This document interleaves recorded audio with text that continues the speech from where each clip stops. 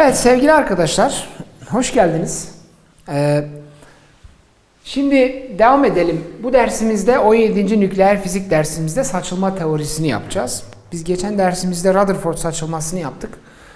Rutherford saçılması klasik bir saçılma teorisiydi. Klasik yasaları kullanarak efendime söyleyeyim momentumun korunumu, açısal momentumun korunumu ve Newton'un ikinci hareket yasasını kullanarak Rutherford tesir kesitini türettik, bir formül verdik. Bugün saçılma olaylarına kuantum mekaniksel açıdan bakacağız. Öncelikle şundan başlamamız lazım. Bir serbest parçacıktan başlayalım. Serbest parçacık şu demek. Herhangi bir potansiyelin etkisinde olmayan parçacığa bir serbest parçacık diyoruz. Bir kuvvetin etkisinde değilse, e, dolayısıyla bir potansiyelin etkisinde değilse o parçacık, parçacık serbest parçacıktır. Ve serbest serbest parçacıkları biz kuantum mekaniğinde düzlem dalgalarla ifade ediyoruz. Düzlem dalgalar şudur. Momentumu iyi bilinen durumlardır. Yani parçacık momentumu iyi bilinen bir durumla temsil edilirse eğer bu durum üzerine bir ölçüm yaptığımız zaman momentum bulmak için momentumla ilgili kesin bir değer elde ettiğimiz durumlardır. Fakat belirsizlik ilkesi tabi burada hemen devreye giriyor. Eğer bir parçacı momentumunu siz kesin olarak biliyorsanız o zaman konumu hakkında hiçbir fikriniz yok demektir. İşte böyle durumlara düzlem dalgalarla ifade ediyoruz. Daha doğrusu böyle durumlara momentumu iyi bilinen durumlar denir ve bu durumlara tekabül eden dalga fonksiyonları düzlem dalgalardır. Önce bunun, bu düzlem dalgalar nasıldır? Parçacık bir psi durum ketiyle ifade edilsin. Eğer momentumu iyi bilinen bir durumsa bu, momentum operatörü uyguladığımız zaman momentumun öz değeri P olacaktır ve dalga fon ve durum vektörünün kendisi olacaktır. İşte bu demin bahsettiğim cümlelerle ifade ettiğim matematiksel işlem bu. Momentumu iyi bilinen durumlar, momentumu ölçmek için momentum operatörü uyguluyoruz ve momentumla ilgili kesin bir bilgi elde ediyoruz. Öz değeri. Bu da onun öz durum, öz vektörleri olmuş oluyor. Ee, basitlik olsun diye bu serbest parçacığımız bir tek boyutlu bir z yönünde hareket ediyorsun. Hareket ettiği çizgiye z ekseni diyelim biz. Ve dolayısıyla bu dalga fonksiyonlar nasıl diye eğer bulmak istiyorsak konum burasıyla z yönü olsun iç çarpımına bakacağız. Bu bir sayı olduğu için öz değer dışarıda kalabilir. Z ve psi. İşte şu z psi dediğimiz dalga fonksiyonudur. Onu da şurada yazayım isterseniz. Böyle yazabiliriz. Tamam mı? Dalga fonksiyonudur. Ve momentum operatörünün dalga fonksiyonu üzerine etkisini kuantum mekaniği dersimizde görmüştük. O da şöyledir. I, H çizgi, del bölü del Z dalga fonksiyonun kendisi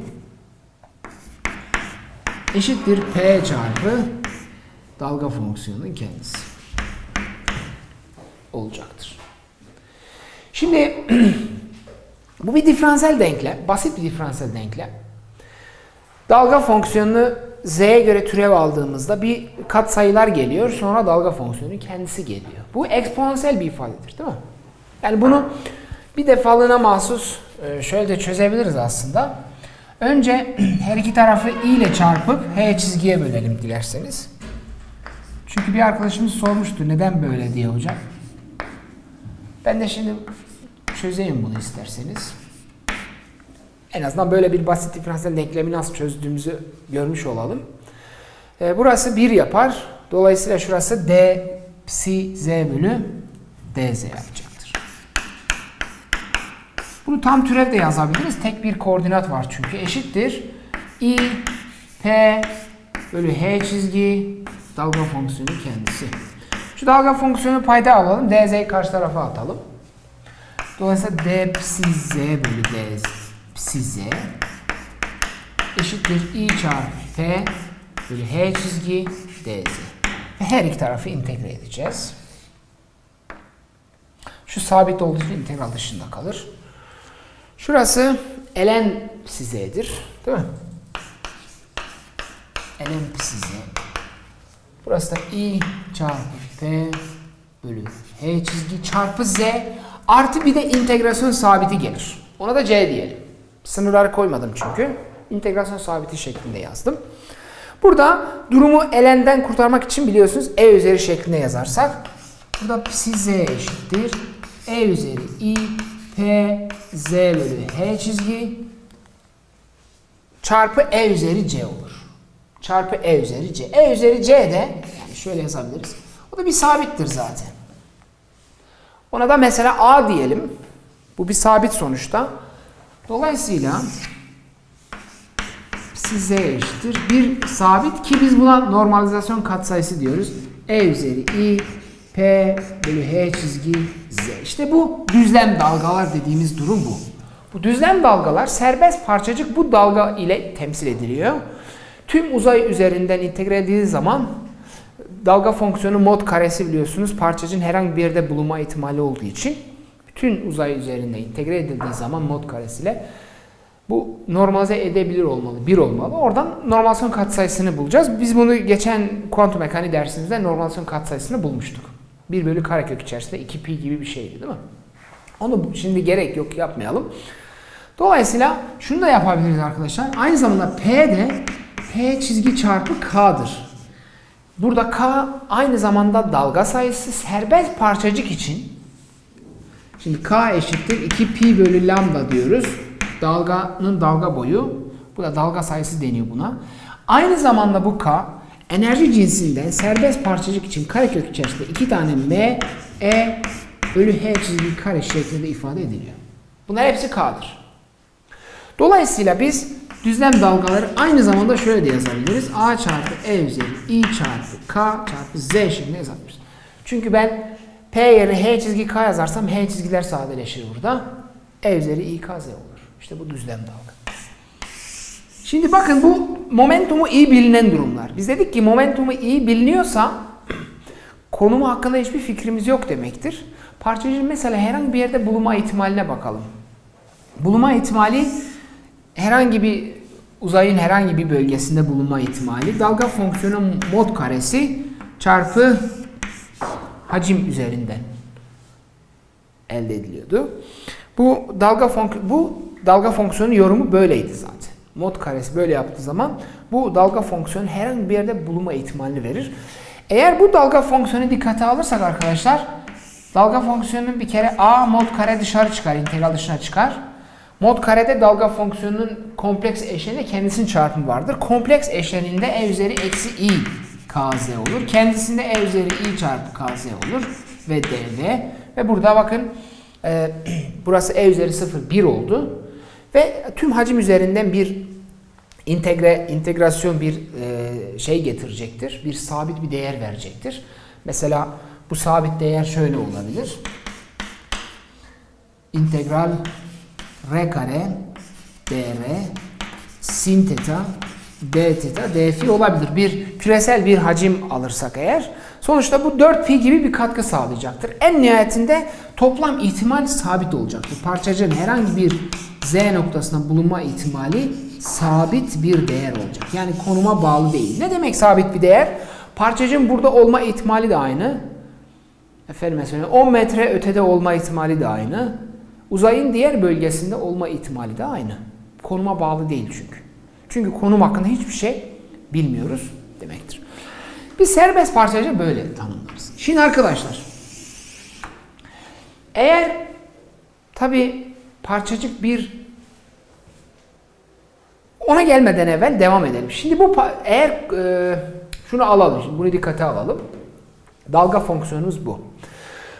Bu momentumu iyi bilinen durumlar. Yani momentumun bir öz fonksiyonu, bu dalga fonksiyonu ama açısal momentumun öz fonksiyonu değil. Yani biz bu durumdayken dalga fonksiyonu böyle temsil ettiğimiz zaman açısal momentumu nedir diye sorarsak açısal momentum operatörünü bu durum üzerine etki ettirdiğimiz zaman tek bir açısal momentum değeri elde etmeyiz.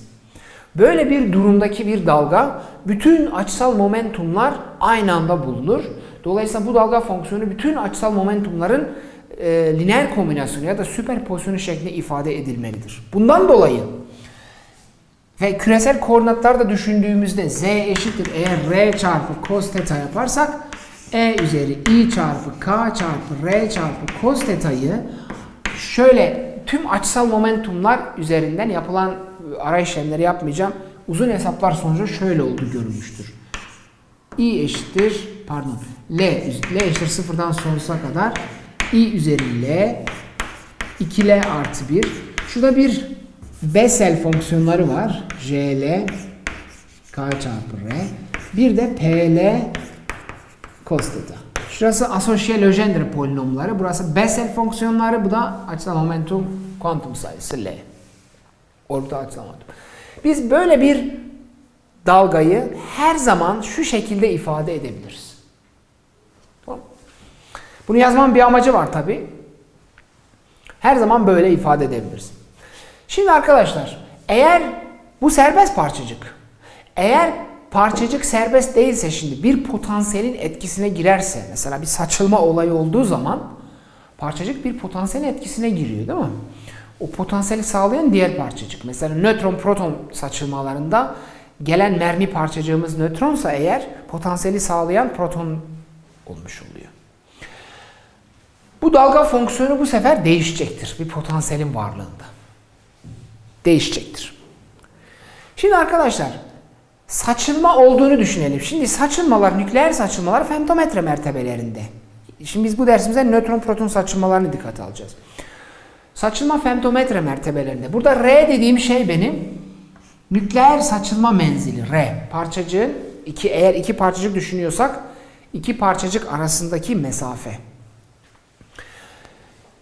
Nötronla proton diyelim saçılmasını inceliyoruz.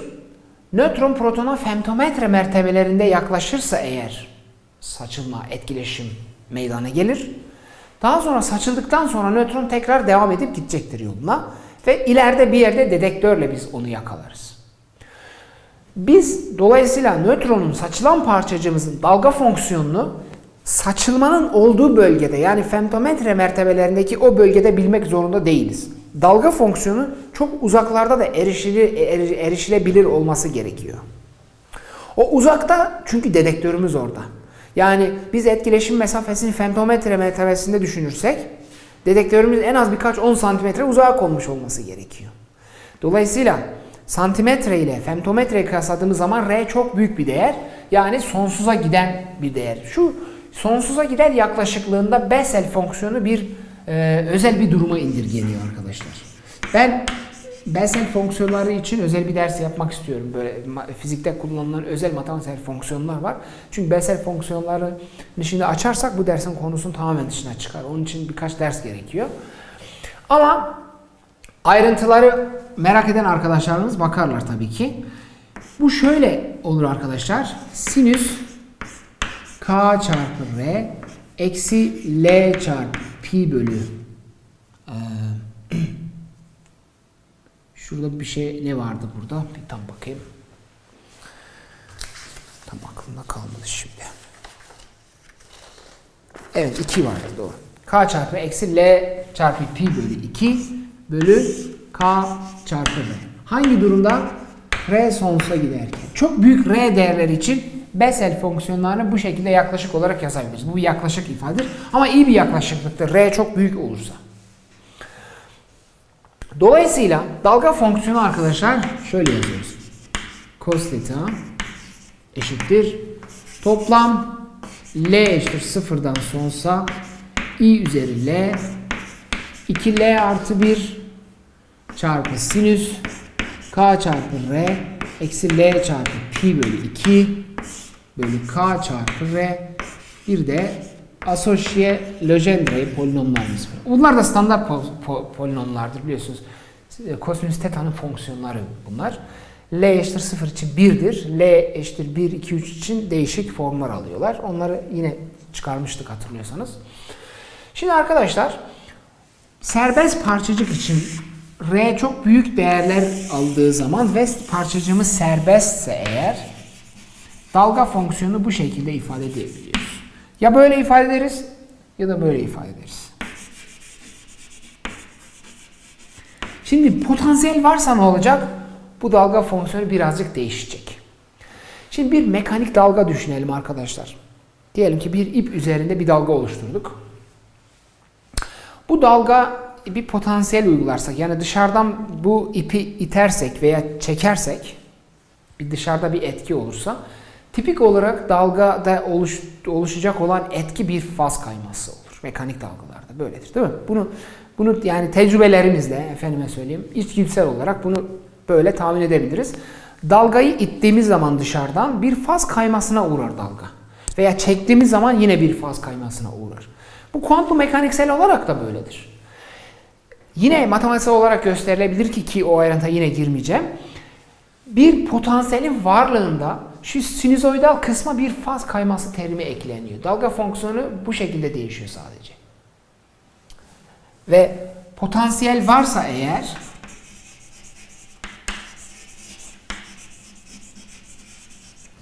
dalga fonksiyonu şöyle oluyor arkadaşlar. Toplam L sıfırdan sonsuza kadar i üzeri L 2L artı 1 Şurası sadece, şu kısım sadece modifiye oldu. Bu kadar. Diğer bütün kısımlar aynı kalıyorlar. K çarpı R eksi L pi bölü 2 artı delta L. Bu delta L dediğim şey faz kayması ifadesi açısal momentuma bağlı faz kayması. Açısal momentum değiştikçe e, faz kayması değişir. Yani değişik açısal momentuma sahip parçacıklar bir potansiyelin etkisine girdikleri zaman değişik miktarda faz kaymasına uğrarlar. K çarpı R ve PL cos theta. Dolayısıyla bakınız biz bunu da bildikten sonra o zaman bütün saçılmanın etkisi şu faz kayması içerisinde kodlanmış. Dolayısıyla ne yapıp edip saçılma tesir kesitini şu faz kaymasıyla ilişkilendirmemiz lazım. Değil mi? İlişkilendirmemiz lazım.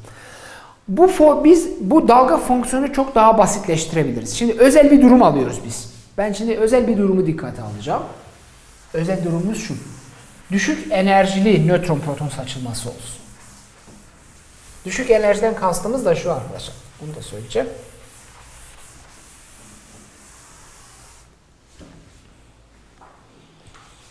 Önce şu başlığımızı yazalım.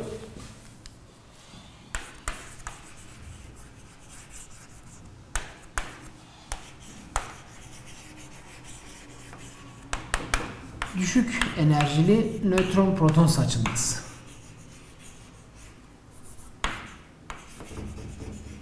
Düşük enerji şu. Enerjisi 20 mevden küçükse eğer.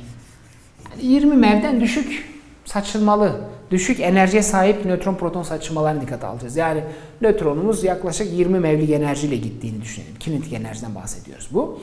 Enerjiden kastımız kinetik enerji. Durgun kütle enerjisi değil. Durgun kütle enerjisi zaten 1000 mev civarında.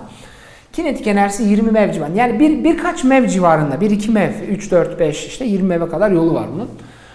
Bu, dur, bu durumdaki saçılmaları mesela inceleyelim arkadaşlar.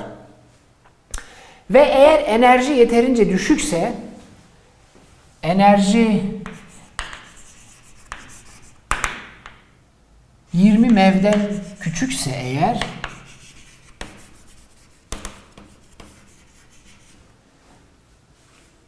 L'nin katkısı ihmal edilecek kadar küçük olur. Saçılma olayına L'nin katkısı ihmal edilecek kadar küçük olur.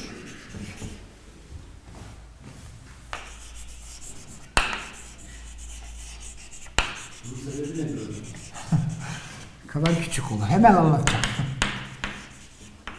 Yani L eşittir 0 olacak. Efendim? E, düşük enerjili olduğu için yani. düşük enerjili olduğu için e, L'nin katkısı sıfır olur. Yetmez mi bu cevap? Şimdi hemen hemen anlatıyoruz. Doğru güzel bir soru. Bakalım hemen gösterelim bunu arkadaşlar. Düşük enerjilerde L eşittir sıfır sadece e, dalga fonksiyonunda gelir. Diğer L eşittir 1, 2, 3'ün katkısı gerçekten ihmal edecek kadar küçük olur. Şöyle bir e, Küçük bir hesap yapalım mesela. L'nin gerçekten küçük olduğuna bakalım. Şimdi diyelim ki L eşittir. Şöyle yapalım. Açısal momentum, Bu orbital açısal momentum. L eşittir 1 için mesela. Orbital açısal momentumun karesinin beklenen değeri neydi? Biz bu durum üzerindeysek eğer L kareyi durum üzerine etkilerseniz L çarpı L artı 1 H çizgi kare durumun kendisi olur değil mi? Diyelim ki böyle bir durumdayız. Bizim parçacığımız bu durumda. E, L kare operatörünün beklenen değeri de bu. Diyelim ki L eşittir 1 olsun. L karenin beklenen değeri ne olur? 2H çizgi kare olur. Değil mi? 2H çizgi kare olur. L karenin beklenen değeri bu. Küçük L ile gösterelim. Operatörü de küçük L ile gösterelim. Dolayısıyla L karenin beklenen değeri 2H çizgi olur. 2H çizgi kare olur. Ve şu orana bakalım arkadaşlar. L kare bölü H çizgi kareyi dolayısıyla 2 civarında bekleriz değil mi? Kuantum mekaniksel olarak. Bunun da oranına baktım. L karenin beklenen değeri eğer 2H çizgi kare ise L kare bölü H çizgi karenin oranı 2 civarında bir rakam bekleriz. Eğer L eşittir 1 ise mesela. L eşittir 2 ise 6 olur. Yok. 2 ise 4. Evet 6 olur. Dolayısıyla L kare bölü H çizgi kare 6 olur gibi. L eşittir 3 ise 12 olur gibi. Ben şimdi sıfırdan farklı en küçük değeri dikkat aldım. 1 olsun mesela. Böyle olur. Şimdi gelelim bizim saçılma olayına. Şurası nötron. Şurası da proton olsun. Nötron gelip protonla saçılma meydana getirecek. Bir kinetik enerjisi olsun burada. Önce lineer momentum P olsun. Şurası da et, saçılma parametresi. Rutherford saçılmasını benzer şekilde e, saçılma parametresi de B olsun. Dolayısıyla bunun orbital açısal momentumu ne olur bu parçacığın? L P çarpı B olur. Değil mi? Açısal momentum bu. Şimdi bunu da klasik olarak düşünüyorum. Kuantum mekaniksel olarak karşılaştırıyorum. Sonuçta kuantum mekaniği ile klasik mekanik büyük değerlerde türetilebilir olması gerekiyor. Dolayısıyla orbital açısal momentumu bu nötronun değil mi? Bu. Peki kinetik enerjisi ne olur? Kinetik enerjisi de iki tane m çarpı daha doğrusu p kare bölü 2m olsun. Evet, p kare bölü 2m. Dolayısıyla ben aynı zamanda e, açısal momentumumuz için iki tane m çarpı kinetik enerji yazabilirim karekök içerisinde. Dolayısıyla şurada yazarak orta açısal momentumun değerini şimdi şey yapacağım. Tahmin edeceğim. Belli bir kinetik enerji için. Burayla kıyaslamak için. Şimdi Şimdi konu daha iyi anlaşılacak. Dolayısıyla şurası karekök içerisinde iki tane m çarpı kinetik enerji çarpı etki parametresi ve bu etki parametresi tipik olarak femtometre mertebelerindedir. Ancak femtometre mertebelerinde gelirse nükleer olarak saçılabilir değil mi? Diyelim ki B 10 femtometre ise şuradan geliyorsa bu saçılma olayı meydana gelmez çünkü nükleer kuvvetlerin menzili dışındayız demektir. Ancak birkaç femtometre mertebelerindeysek saçılma meydana gelebilir. Biz burayı dolayısıyla 1-2 femtometre alacağız. Ve kinetik enerji koyacağız ama kütlesine bakalım. Nötronun kütlesi yaklaşık 938 e, mev civarında. Tahmini bir hesap yapıyorum şimdi arkadaşlar. Şurası isterseniz karesini alalım bunun. Daha güzel olur. Karesi eşittir. 2 tane m, t ve b kare olur. Ve karesini aldığımız zaman 2 çarpı 938 mev kütle neydi? Mev bölü c kare. Değil mi? Kütle mev bölü c kareydi. Çünkü şey benim için önemli ve bunun karesini alacağım ama. Ee, karesi. Yok karesi değil. Zaten karekök vardı. Çarpı b'nin karesi. B'yi de ne alalım? Basitlik olsun diye 2. 2 femtometre alalım. 2 femtometre ama bunun karesini alacağız değil mi? Çünkü karşı tarafın karesini aldık. Bunun karesi olacak ve L kare eşittir bu olur. Efendim? Ha bir de kinetik enerji var. Şimdi kinetik enerji yerine ne koyalım? Şimdi ben burayı şey yapacağım tabi.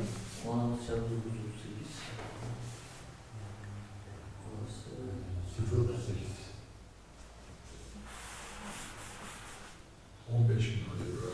15 bin. Üst taraf 15 bin. Heh. Evet arkadaşlar şimdi e, kinetik enerji de 1-2 mev civarında olsun. Mesela 2 mev olarak alalım. Tamam. 2 mev civarında olsun. Gelen nötronun kinetik enerjisi 2 mev civarında olsun. Şimdi burayı hesaplayalım. 0.39 civarı bir şey çıkıyor. Şuranın çarpımı mı? Hayır. Orası 38. Kaç bin? 15 bin. Tamam. 15 bin civarında. 15 bin birim olarak mev kare çarpı femtometre kare bölü c kare oluyor. Ee, ve h çizgiye her iki tarafı bölecektik. Şurası l karenin değeri. Bir de h çizgiye böldüm. Şurası da böyle oldu. Ve h çizgi çarpı c de 197'dir. Birimi de mev çarpı femtometre karesini alırsak yukarıdaki l sadeleşir. Dolayısıyla 15.000 bölü 197'nin karesi. Ne çıkıyor? 0 34. 0 39 0 4 diye. Şimdi biz L eşittir 1 iken L eşittir 1 iken L bölü H çizgi kareyi kuantum mekaniksel olarak 2 civarında beklerken kinetik enerjisi birkaç mev olan bir nötron için L kare bölü H çizgi kare 0.4 çıkıyor. Yani 2'den çok küçük. Dolayısıyla açısal momentumun sıfırdan farklı değerlerinin katkısı ihmal edilecek kadar küçük oluyor bu saçılmalarda. Bundan dolayı bu küçük yarı klasik ya da yarı kuantum evet yarı klasik yarı klasik yarı kuantum mekaniksel hesaplamalar bize göstermiştir ki bu dalga fonksiyonunda biz arkadaşlar e, L'nin sıfır değerini sadece dikkate alacağız. Ve dalga fonksiyonu bizim için bayağı bir basitleşecek. E, bu tarz saçılmalarda mermi çekirdeğinin titrik enerjisi hangi aralıkta oluyor? Yani İşte 10 mevden genelde küçük oluyor. Yani 10 düşük enerjili nötron proton saçılması da yaklaşık olarak 10 mev civarında oluyor maksimum ama tabii ki yüksek enerjiler oluyor. 400 mev ve 500 mev'e kadar e, çıkabilir nötronun kinetik enerjisi. ama 10 mev olduğu zaman ihmal edemiyorsun. Evet yani 10 mev'i geçtiğimiz zaman 10-20 mev meve yaklaştığımız zaman artık L'nin sıfırdan farklı değerleri katkı sağlamaya başlıyor. L eşittir 1, L eşittir 2 artık onları ihmal edemezsiniz. Ben şimdi şu küçük enerjilerde L'nin sadece sıfır değerini dikkate alacağım. Dalga fonksiyonu basitleşecek ama dediğim gibi eğer enerji yükseldikçe L'nin diğer katkıları da olacak. Bu sefer dalga fonksiyonu biraz sonra yapacağım gibi basit olmayacaktır. Ve 300 mevlik 400 mevlik saçmalar da tabii ki olabilir yani. Hızlandırıcılarda bunlar yapılıyorlar. Ee, biz dolayısıyla dedik ki arkadaşlar şu cümlemizi teyit ettik tekrar. Enerjisi küçükse eğer 20 mevden küçükse 20 mevden baya bir küçükse ama yani 20 mev civarında olursa e, L bölü H kare de yaklaşık olarak 2 çıkıyor zaten. Yani 2'den biraz küçük çıkıyor. Dolayısıyla 20 meve kadar bile hala iyi bir yaklaşıklıkla aslında L eşittir sadece sıfırı dikkate alacağız. Ama artık 20 meve yaklaşıp da onu geçtikten sonra L eşittir 1 katkı sağlamaya başlar. Ondan sonra 30, 40, 50 meve çıktıkça bu sefer L eşittir 0, L eşittir 1 ve L eşittir 2 de bu sefer katkı sağlamaya başlar. Enerji arttıkça L'nin yüksek değerleri saçılmaya katkı sağlıyorlar. Dolayısıyla devam ediyoruz buradan.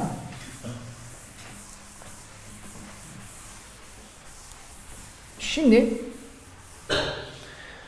L eşittir 0 olursa bir kere arkadaşlar P0 cos theta 1'dir. Asosye e, Legendre polinomlarında P0 ilk değeridir bu. Legendre polinomların değeri 1'dir. L eşittir 0 olursa.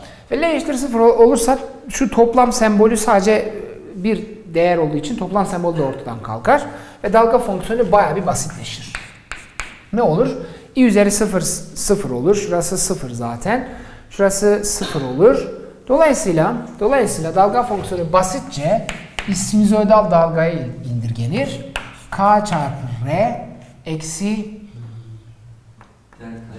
delta 0 bu faz kayması bölü K çarpı. Bu olur. Bu kadar. Bakın düşük enerjilerde bu dalga fonksiyonu nedir tekrar bakalım. Düşük enerjilerdeki saçılan parçacığın dalga fonksiyonu. Tamam? saçıldıktan sonra dedektöre gelen parçacığın dalga fonksiyonu olmuş oldu. Dolayısıyla saçılmanın etkisi tamamen dediğim gibi şu faz kayması içerisinde. Saçılmanın etkisi bu faz kayması içerisinde dolayısıyla kodlanmış. O halde tesir kesiti bu e, şeyle bir ilişkilendirmemiz lazım. Faz kayması ile ilişkilendirmemiz lazım. Ve yine arkadaşlar yine yapılan hesaplar sonucunda biz görüyoruz ki saçıl, saçılma tesir kesiti diferansiyel saçılma tesir kesiti şu oluyor. D sigma bölü D omega bu katı açı başına birim katı açı başına e, düşen saçılma tesir kesiti. Bu eşittir arkadaşlar. Sin kare neydi o? Bu hesap delta 0 bölü k kare. Sin kare delta 0 bölü k kare olacak. İşte bu. Şimdi şu e, buradan buraya geçiş de var. Birazcık Deneysel sonuç mu? yok bu teorik. Bu teorik. Yani bu e, şeyden e, saçılan dalga fon gelen dalga fonksiyonu sonra saçılan dalga fonksiyonu o saç gelen dalga fonksiyonunun ak, e, neydi akım yoğunluğu vesaire onlar kullanılarak buradan bu diferansiyel tesir kesiti türetiliyor. Ben o ayrıntıya şimdilik girmiyorum. Belki bir önümüzdeki bir iki derste birkaç adımı var. Belki onu yapabilirim. Ama bizim bilmemiz gereken şey şudur. Ee, düşük enerjilerde saçılan bir nükleonun dalga fonksiyonu budur. Diferansiyel tesir kesiti de bu şekilde türetir. Tamamen teorik bu. Deneysel değil, teorik.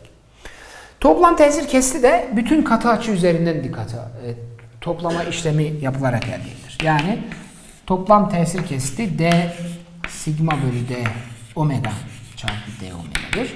D omega da biliyorsunuz şurası şurası sin kare delta 0 bölü k kare d omega da sin teta d teta d fi.